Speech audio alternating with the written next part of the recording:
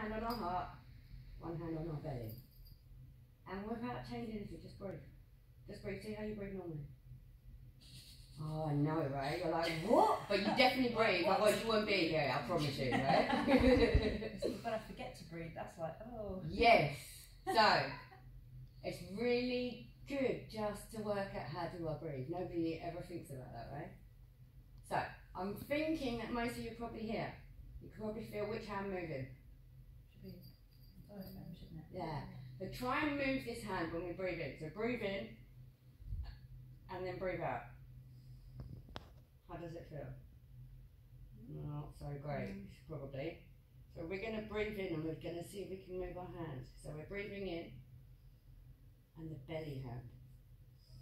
And then breathe out and let that just relax, let your belly go. Your hand will gently come backwards. That's it. So we're going to breathe in again and as we breathe in, we gently